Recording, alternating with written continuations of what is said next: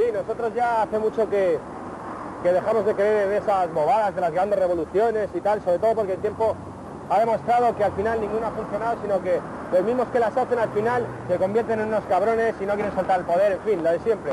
Entonces nosotros la única revolución que creemos es la revolución mental que puede hacer cada uno, la revolución que puede hacer cada uno con su vida, a través de pequeños detalles de la vida cotidiana, que es como se cambia el mundo, no con masas en la calle, sino con mucha gente trabajando por, por su cuenta y, y poquito a poco. ¿Qué?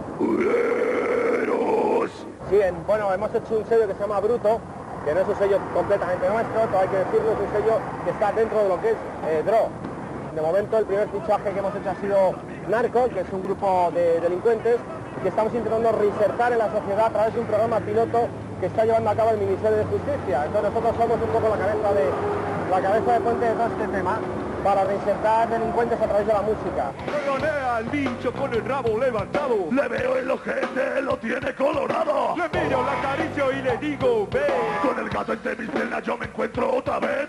Vaca sagrada, ¿qué respeto te tiene? Te cojo por los cuernos y me subo al taburete. Para y para atrás, empieza a disfrutar. Maldito bicharraco que no se bicharraco que no se entera de nada. ¡Así!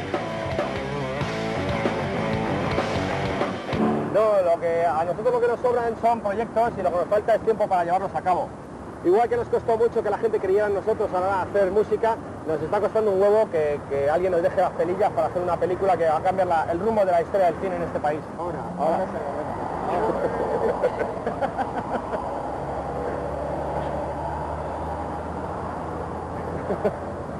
bueno, vámonos ya con los micros.